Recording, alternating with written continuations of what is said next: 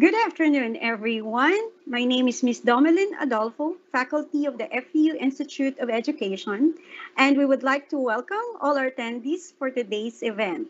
Welcome, everyone.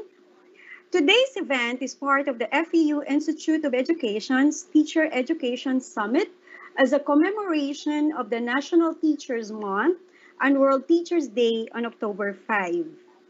This webinar will discuss the challenges and stress experienced by teachers in the conduct of alternative teaching modalities during this pandemic. Further, this event would share the principles and practices on how a teacher would manage stress brought by the pandemic and thereby still be able to make sound judgment both as a teacher and a human person. And on behalf of the Dean and the Institute of Education, we are looking forward to the celebration of the National Teachers Month, and we hope that everyone will continue to join in the succeeding events the Institute has prepared for all of you. And our guest speaker for today is Mr. Arnel Aviles Diego.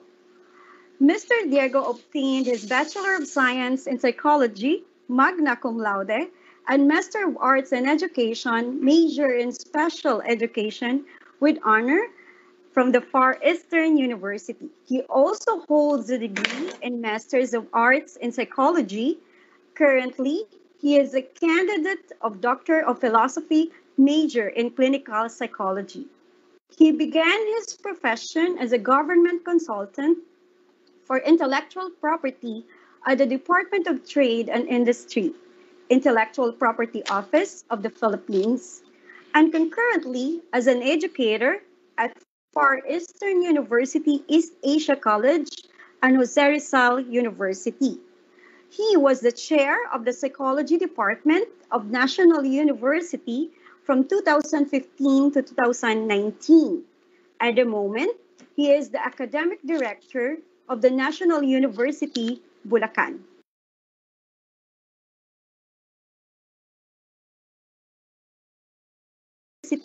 Bulacan.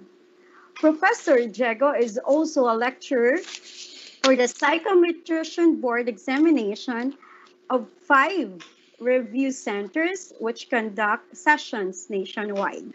He is also a licensed psychometrician and affiliate of Philippine Mental Health Association and Psychological Association of the Philippines. But before we give the floor to our guest speaker, we would like to remind the audience that this event is being recorded.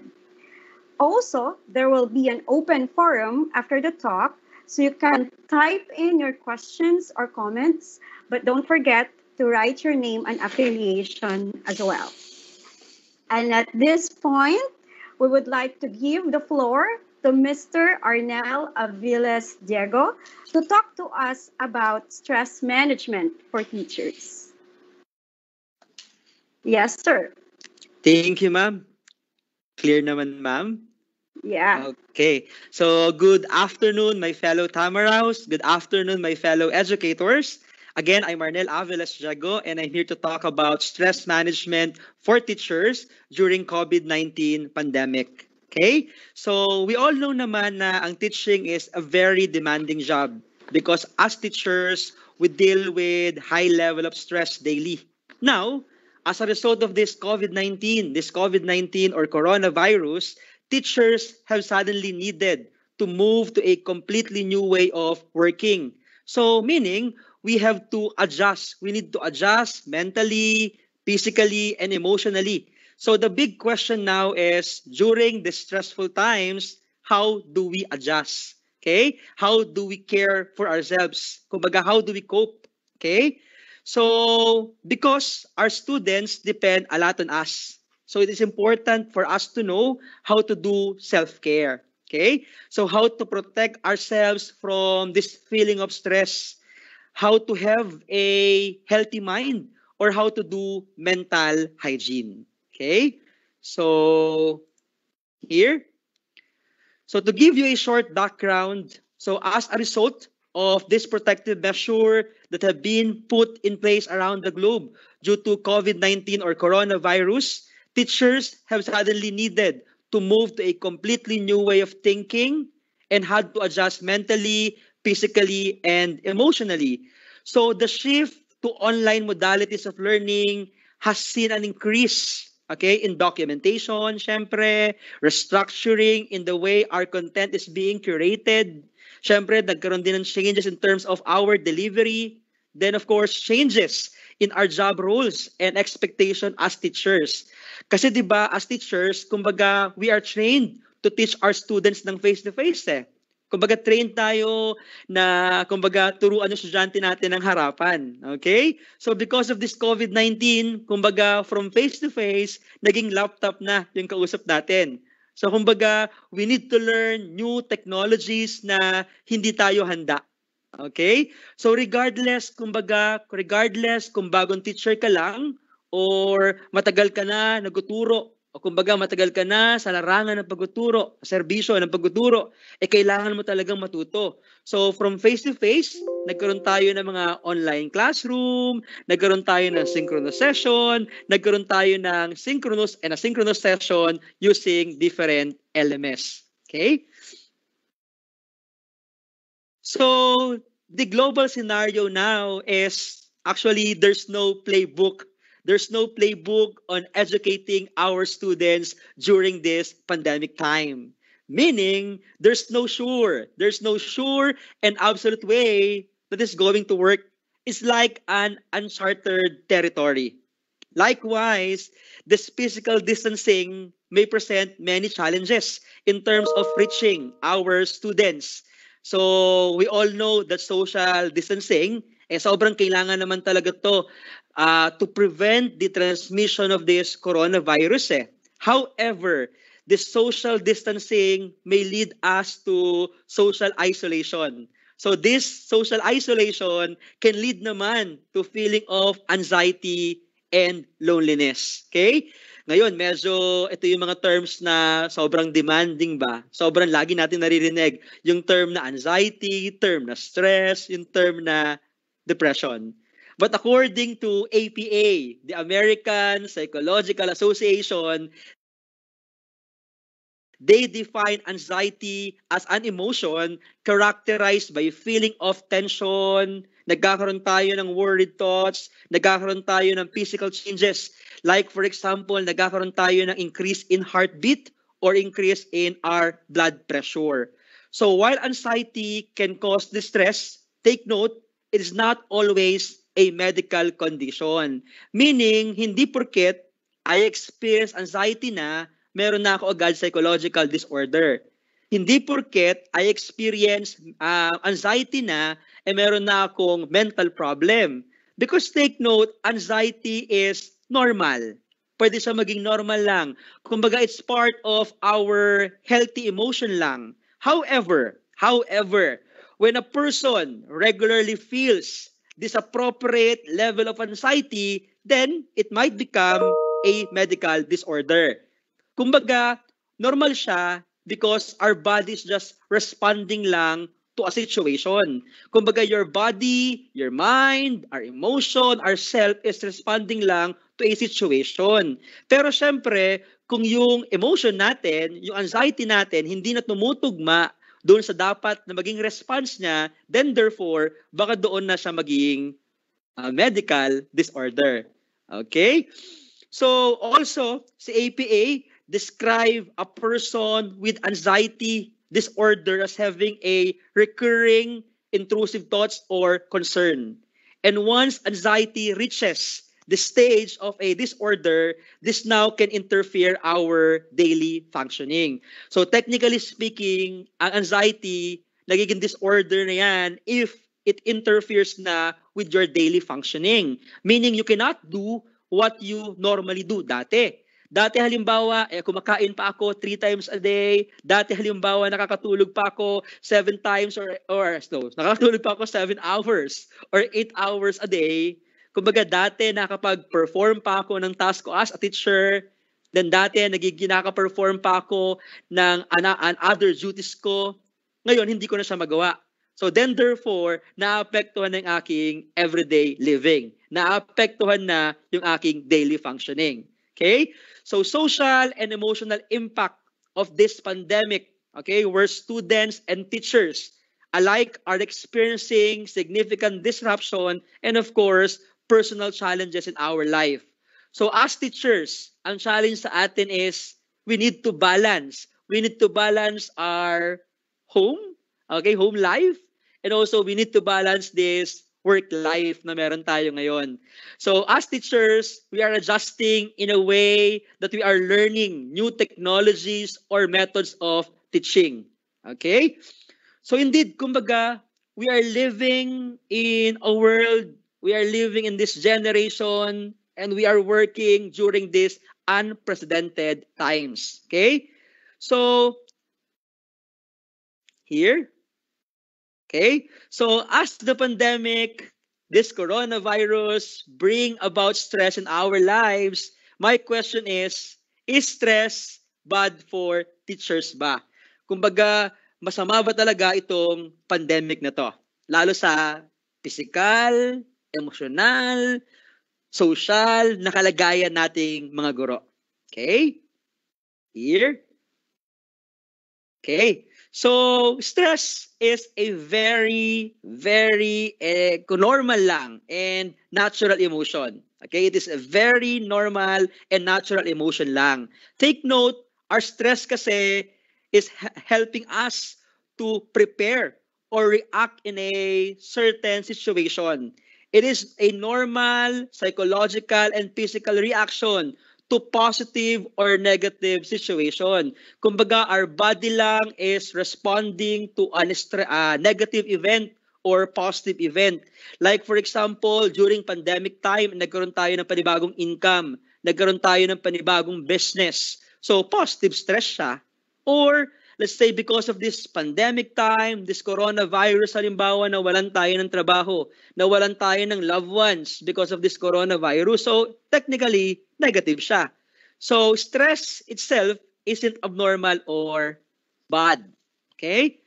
According nga to Mayo Clinic, stress daw is our body's way of responding to any kind of demand or threat. Kumbaga, when our body sense danger, whether that danger is real or imagined, the body defenses kick into high gear, kumbaga in a rapid automatic process known as stress response.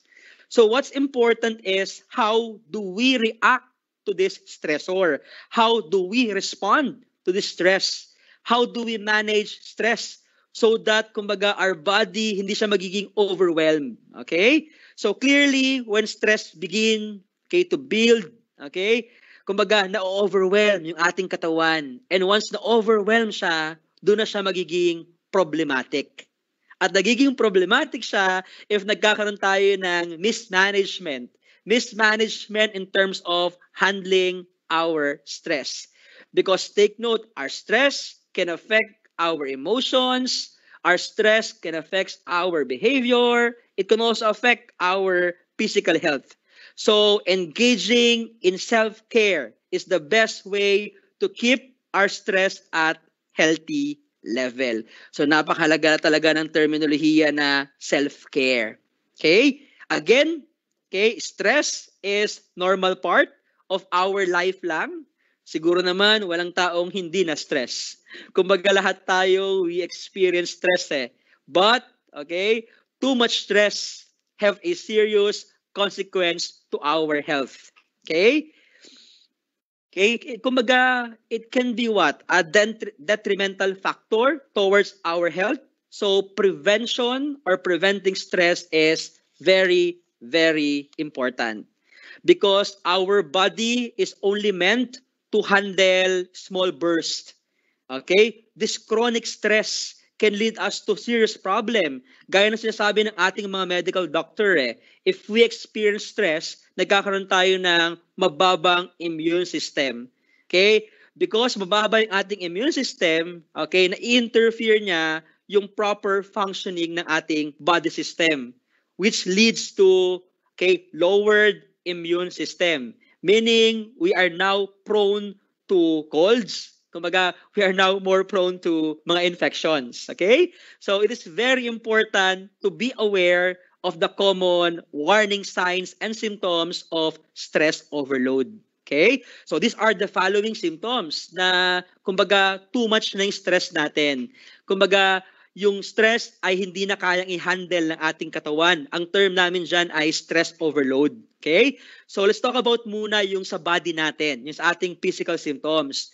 Nagkakaroon tayo ng stress overload if we experience the following symptoms. Number one is aches and body pain. Nagkakaroon tayo ng body pain. Of course, sometimes, nakakaramdam tayo ng diarrhea or nagkakaroon tayo ng constipation. Also, nakaka-experience tayo ng dizziness. Okay? Nagkakaroon tayo ng chest pain. Nahihirapan tayong huminga. Nagkakaroon tayo ng rapid heart rate.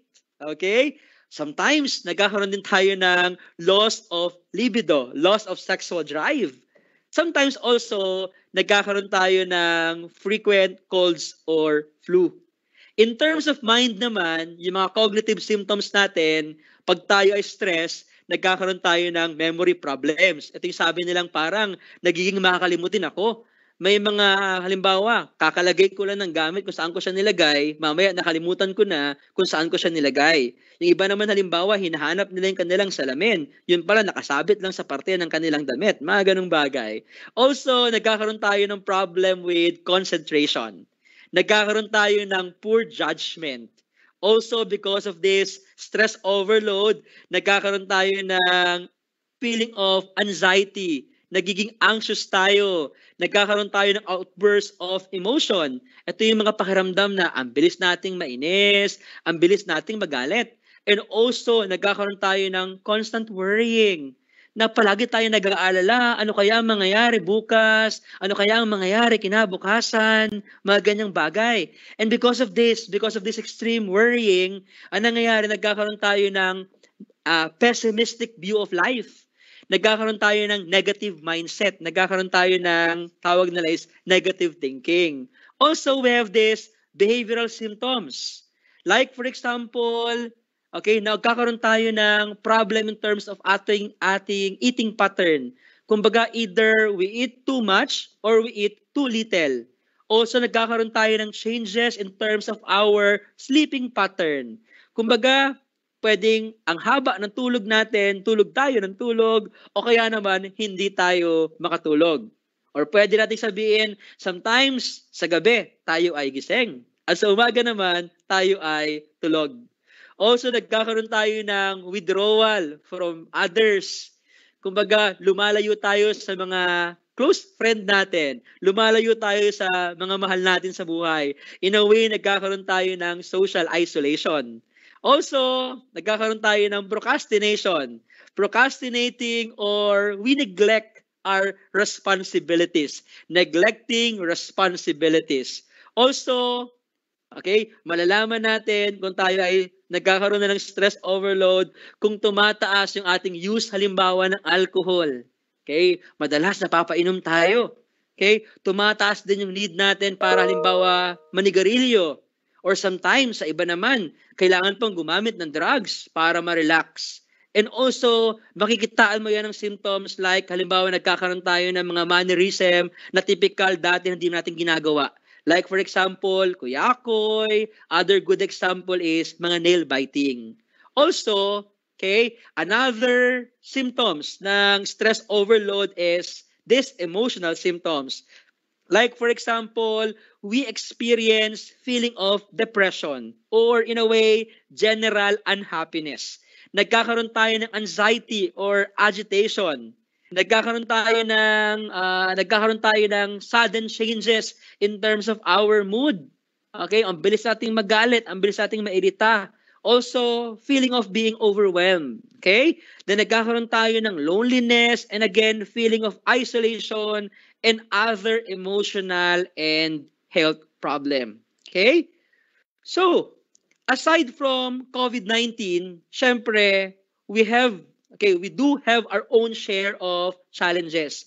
Because uh, hindi lang COVID-19 ang pinag-uusapan dito eh. Marami rin tayong challenges na kailangan nating malampasan. Isa na rito is Kumbaga, we need to balance our work and life during this pandemic time. Okay? So, kumbaga, work-life balance. Isa yan sa mga kailangan natin gawin. Sabi nila madaling sabihin, pero napakahirap naman talagang gawin. Okay? So, ano-ano yung mga challenges na to? Okay? So, of course, number one is work from home. Okay? Alam naman natin na ang work from home setup ay very challenging because this is very new to us. Also, we have overwork and burnout. Okay? Uh, ito yung mga challenges na medyo mahirap din lampasan, yung overwork and burnout na to.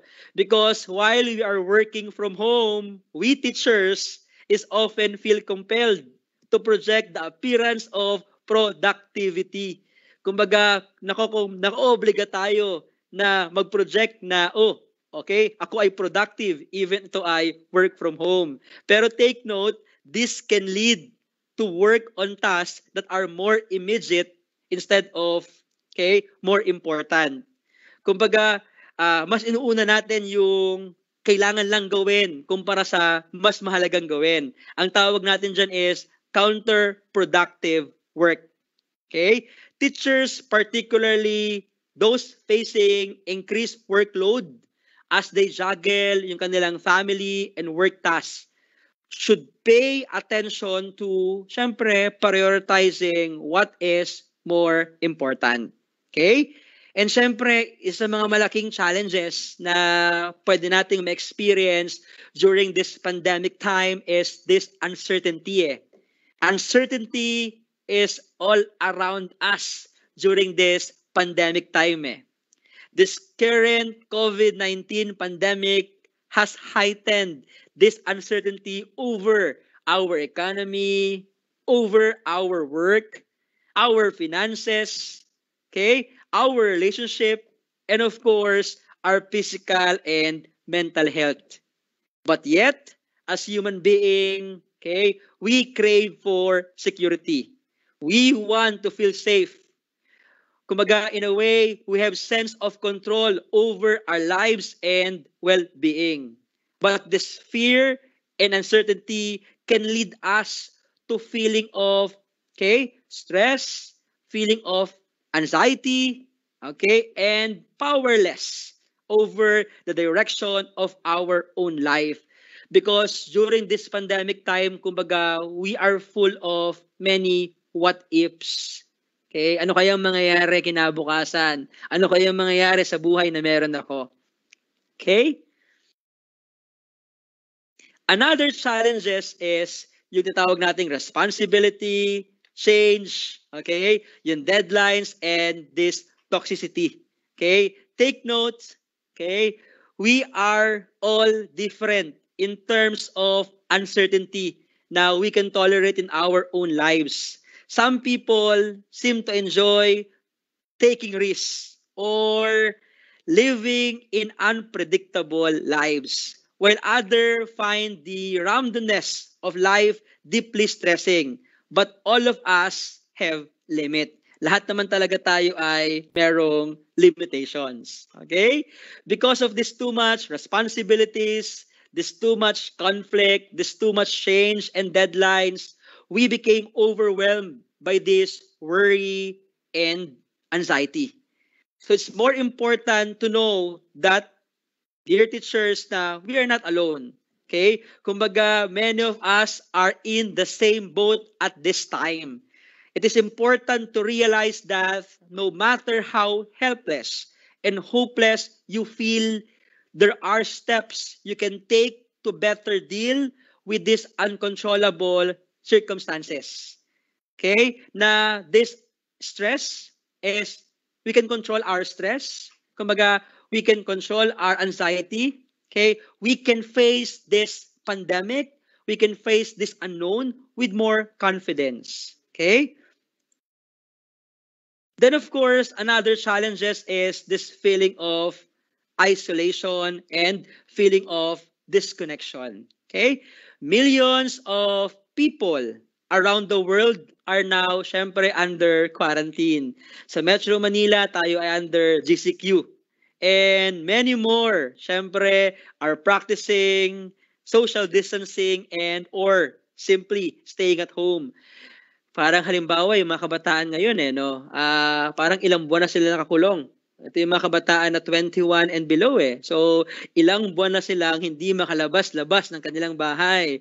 Ilang buwan na silang socially isolated. Okay? As a result, kumbaga, we have in, entered in a period of global isolation which will keep many us from seeing our friends and family. Okay? So with little clarity about how long this pandemic will persist, the risk of people experiencing loneliness and disconnection is significant. So dear teachers, uh, co-educators, fellow Tamaraws, always remember na we are not superheroes. Okay? uh, wala naman nagsabi na tayo ay immune sa pandemang ito. Wala naman nagsabi na kailangan immune tayo sa stress, immune tayo sa anxiety. So, we are not superheroes. So, we need to take care of ourselves so we can take care for others. Okay? We became a teacher because, syempre, we want to make a difference. We became teacher because, of course, we love children. Because, okay, we enjoy, kumbaga, what we are doing. We enjoy seeing the expression sa mga muka ng mga estudyante natin na sila ay may natutunan mula sa atin. It is our passion that makes us a great teacher. The same passion na meron tayo can lead us to burnout. So we need to take care of ourselves then because our students need us. Our families also need us. So self-care is very, very important for us teachers. So the concept of self-care is critical in promoting our emotional and physical wellness. Pero take note, self-care is not an emergency plan that we put in to rescue ourselves when we are in the midst of a crisis. Self-care is really something na we need to incorporate in our daily lives. Hindi porkit may stress lang, doon lang tayo mag-self-care. Hindi porkit, okay, nakakaranas na tayo ng fatigue, burnout, okay, anxiety and other problem, doon lang tayo gagamit ng self-care. Again, self-care is really something that we need to incorporate in our daily lives. Self-care is very, very important for us, teacher, because you cannot care for others if you do not take care of your own self. Self-care enable us to be an effective teacher. So, if you are tired, if you are tired, either emotionally or physically, you cannot do your job well. Ulitin natin. If you are tired, either emotionally, physically, psychologically, you cannot do your job well. So, you need to rest. You need to do or you need to practice self-care. Okay? Kumbaga self-care is very important. So para mabalansin natin yung ating work and life at magkaroon tayo ng healthy boundaries then. Okay? So today, I would like to discuss various ways that we can use to manage our stress. Okay, so here are some ways, some techniques on how to manage our stress as a teacher. Okay? First is distress management. Distress management is a wide spectrum technique and psychotherapies aimed at controlling person's level of stress, especially yung tinatawag nating chronic stress. Okay? Usually for the purpose of improving our everyday or daily functioning. In distress management, napakahalaga dyan ng behavioral activation and self-management. Ayan ang pinakamalagang uh, prinsipyo in distress management, yung behavioral activation and self-management. So how to do behavioral activation and how to do self-management. First, we need to do some physical activities. Okay? We need to lessen our stress. Okay? So malilesen yan by doing halimbawa exercise. For example, you can do cardio workout, you can do some strength training. Ako, I used to do jogging and do indoor workout at home. And those are helpful for me to relieve my stress during this lockdown eh. Gaya ng sinasabi ng ating mga research, di ba? Ang exercise daw can help us increase our energy eh. It improves our concentration. It decreases the level of stress inside our body. Okay, it also it in a way it prevent us from feeling of depression. Exercise also allow us to focus on ourselves, syempre, and do take care of our body.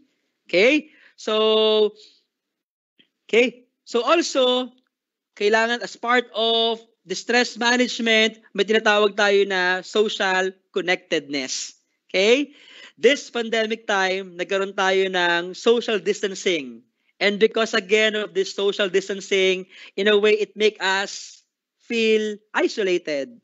So it is very important that we stay connected through halimbawa yan, mga video calls, like mga FaceTime, like mga video conferences, like itong platform na ginagamit natin. Okay? So, also, we also have these pleasurable activities. Part of lowering your stress, part of the stress management is uh, humanap tayo ng mga pleasurable activities.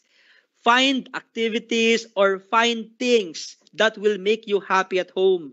Kung maghahanapin natin yung mga gawain na magpapasaya sa atin.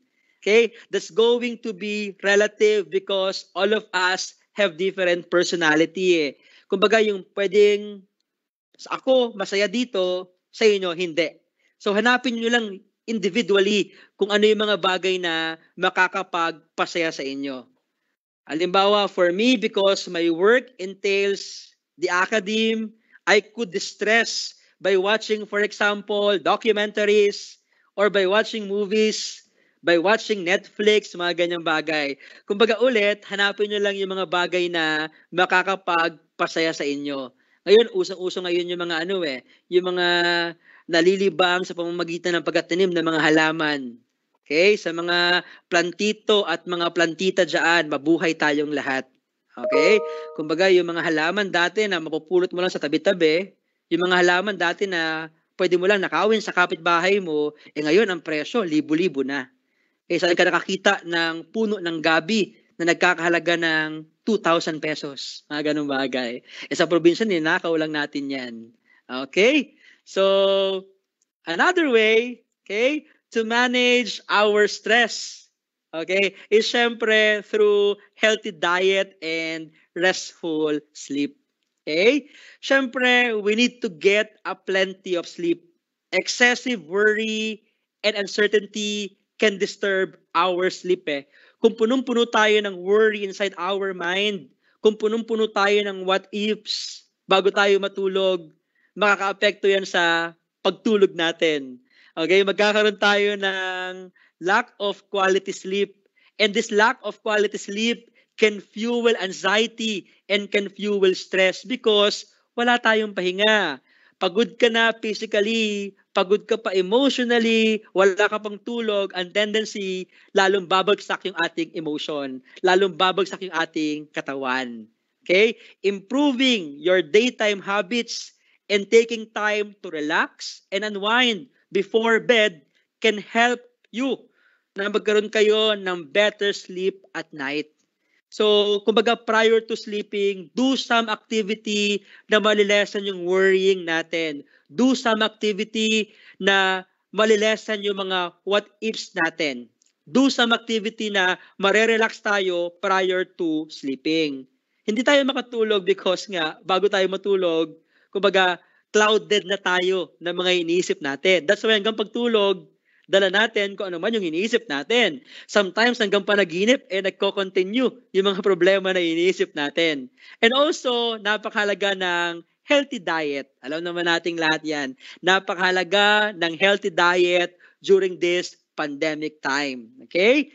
Eating healthy meals can help us maintain our energy level and prevent mood swing. Okay, sabi nga ng ating mga medical doctors, if we want to prevent ourselves from stress, avoid sugary. Yung mga pagkain na matatamis, also pagkain na mga maalat and processed food. And try to eat food na rich in omega-3. Yung omega-3 fats, hindi century tuna ha. Commercial yung century tuna na omega-3. Okay? Read, kumaga, eat, eat, eat food na rich in omega-3, like for example, mga food na fish, uh, ganyan. Also, eat mga soybeans, eat mga walnuts, okay? Okay, to give our overall body na magkaroon siya ng boost, maboost yung ating mood. Okay? And also, malalabanan natin yung stress.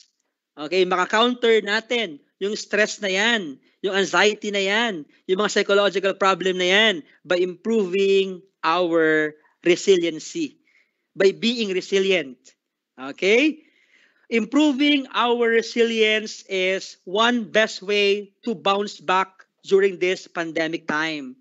Resilience can help us get, kumbaga, resilient can help us, okay, get through and overcome this pandemic, this hardship resilience also, kumbaga, it is not something na we are born with eh. Hindi naman pagkasilang pa lang eh resilient ka na kaagad. Kumbaga, it is built over time as experience. Okay? We have to interact with our unique and individual genetic makeup. Siyempre, napakahalaga rin ng experience para maging resilient tayo. That's why we all respond to stress and adversity like this COVID-19 pandemic differently. And of course, okay, eh, we need to be resilient. And how to be resilient? Paano ba maging resilient? Okay? First is through optimism. Okay? Through optimism. When you say optimistic or optimism, this pertains to having a positive outlook in life. Optimistic outlook encourages persistence, which often lead to a successful outcome. Positive, remember teacher, my dear teachers, positive thinking does not mean na we are in denial about the reality of the situation. It's a tool that help us face challenges focusing on solution instead of overwhelming ourselves with fear and hopelessness. Hindi ko naman sinasabi na maging optimist kayo, takpan nyo na kung ano man ang iniisip nyo, na you are in denial na sa problema na meron kayo. No. Be optimist lang, focus lang on things na kaya nyong gawin sa ngayon. Okay? Second, to be resilient, of course, we need to face our fear we need to recognize our fear, na yung fear na meron ako ay normal lang. Na kahit may fear ako, I can overcome it. Of course, third is yung ating moral compass. Always act according to our principle and values in life. Fourth, syempre, faith. Syempre, we need to strengthen our faith kay God. And so, syempre, finally, To be resilient, kailangan natin ng social support. This positive social support is actually extremely very important for our physical and mental health. Gaya na sinasabi ng ating mga research, okay, that social contact and support may help reduce stress, depression, anxiety, and isolation, as well as it promote self-esteem, it promotes normality, okay, well-being and quality of our life. Okay? Wait lang po.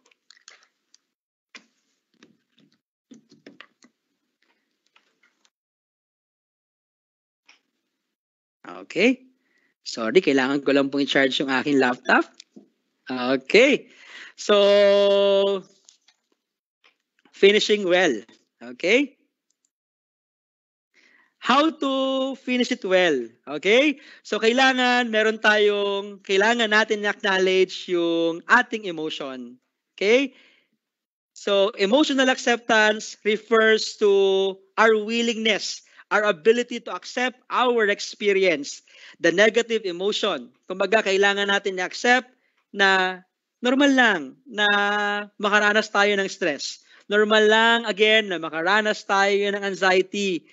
Na it's okay not to feel okay.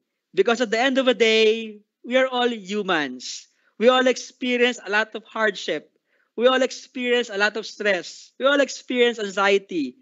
We are not perfect. Okay, we're all human being na normal lang na hindi ako maging okay. Okay?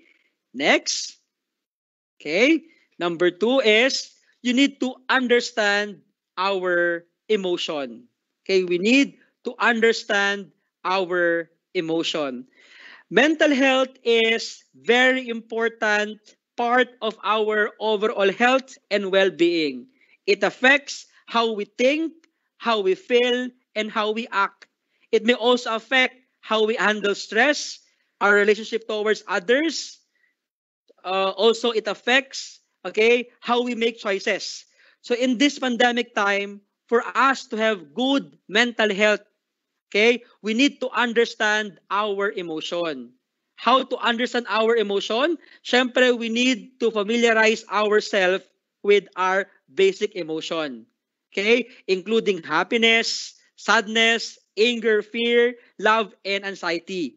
And all this emotion, even the negative ones, play an important role in our life by keeping you safe and motivating you to do things. And syempre, to understand your emotions, kailangan lang dyan eh, you need to, in a way, take a pause. Stop ka muna and try to observe yourself. Siyempre, take a breath, feel your emotion, and practice self-compassion. Again, practice self-compassion. You need to remind yourself na you're also human. And all human experience a full spectrum of emotions. Okay? Next is, okay, we need to fix our eyes. We need to envision the end result. Do what you can to stay involved in somewhat of a regular schedule or familiar activity. Focus on what you can do. Okay? And kumbaga, do not focus on what you cannot do. You just simply engage lang in concrete and easily achievable tasks. Commit yourself to reasonable course of action to deal with your stressor. Okay? And always remember, my fellow Tamaraos, dear teachers, let go of what you cannot change. Let go of what you cannot change. And intentionally engage in tasks where you have some control. Okay? Next is, okay, count 1, 2, and 3. Count 1, 2, and 3.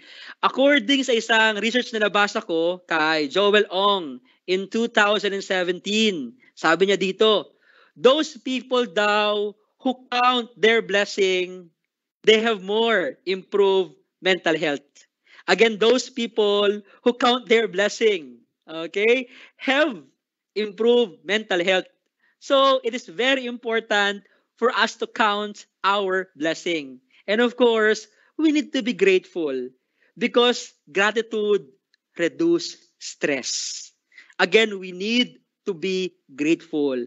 We need to count our blessing because counting your blessing, being grateful can reduce our feeling of stress, can reduce our feeling of anxiety. Many researchers over the past decades have found out that people who consciously count their blessing tend to be more happier and less depressed. Okay?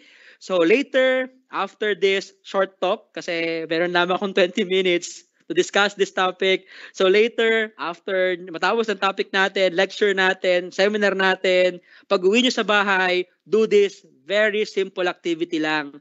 Tinatawag namin tong count 3. Count 3. The task is very simple. As your day comes close, allow yourself to think about three things that happened during this day that you are most happy about and why you believe they happened.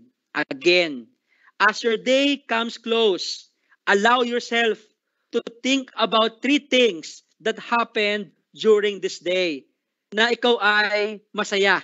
Okay? And why you believe that they happened. Okay? Next is, okay, you need to find your why. Okay, you need to find your why. Actually, isa to sa mga pinakamahirap hanapin. Ang hirap hanapin ng mga why natin. But we have to find. Kailangan nating hanapin yung ating why.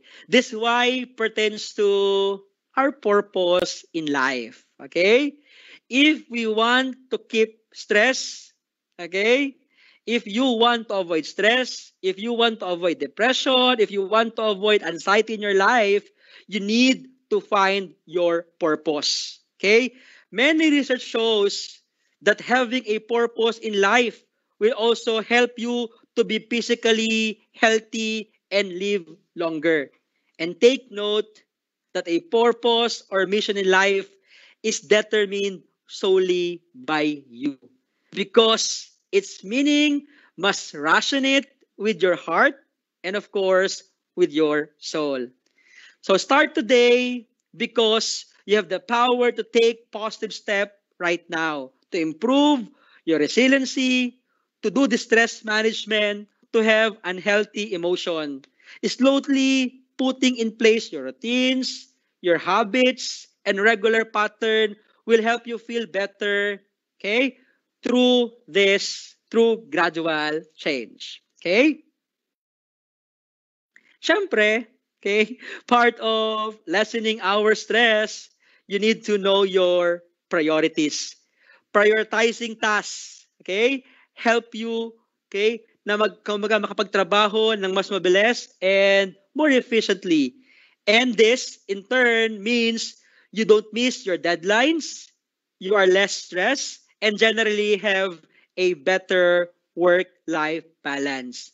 But be mindful of the present moment. Allow us to let go of our negative emotion and difficult emotion from our past experiences. Gaya na sinasabi ko sa inyo kanina, siguro at this time, during this pandemic time, we need to focus lang on things na, na kaya nating kontrolin. Yung mga bagay-bagay na kailangan nating unahin sa ngayon. Okay? And syempre, okay, prayer. Okay? The good news is prayer for stress really works. Okay? Prayer for stress relief works. Prayer is, okay, is unique form of communication kay God. Okay? A growing body of research suggests that prayer and religion rank high among the best stress reliever. Again, prayer and religion rank high among the best stress reliever. Okay? And it is very important, okay, to keep track or, or kumbaga, it is very important to, again, understand our emotion. And once we experience this emotion, once we experience this anxiety, this stress na hindi natin kayang i-handle, we need to share this to our family. We need to share this to our friends, to our colleagues, especially again if you are not feeling well. Okay? Um, at the end of the day, siguro, let's help each other to have a stress-free teacher. Kumbaga, learn to relax, learn to prevent burnout, and enjoy your everyday schoolwork more and more even we are at home. Siguro, let's help each other to create a supportive environment for everyone to have a positive oriented personality free from various stressors. In this way, teaching process will be more productive and stimulating and will create a pleasant working environment that will have impact both on our students and to our community. Okay? And dear fellow Tamaraos, fellow teachers, again, okay, always start your day on a positive note. Begin your day by doing something that lifts you up and makes you feel good. Maraming maraming salamat po. And that ends my short talk.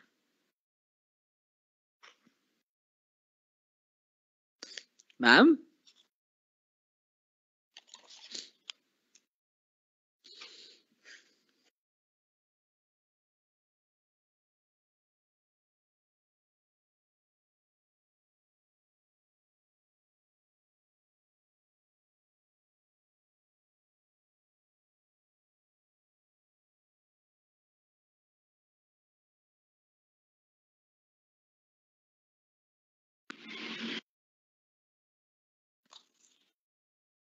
Okay.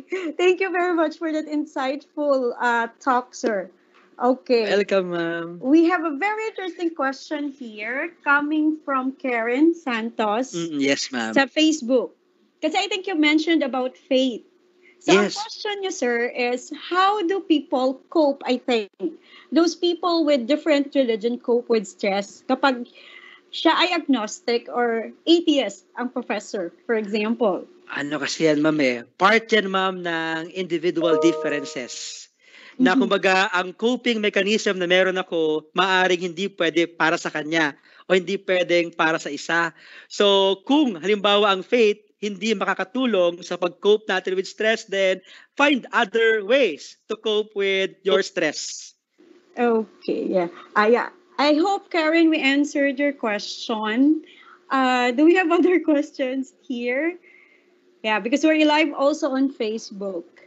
Yes, ma'am. Okay, so let's see from our Q&A here. Another question here from Jason Hieronimo. What are the ways or strategies or methods na maaring gamitin ng isang teacher or normal person to control temper or having a short patience po sa lahat ng bagay? Ah, Jason, I suggest you practice pa rin distress management. Kasi part ng distress management is controlling your emotions. Kumbaga, part of distress management is kung paano mo kokontrolin yung emosyon na meron ka.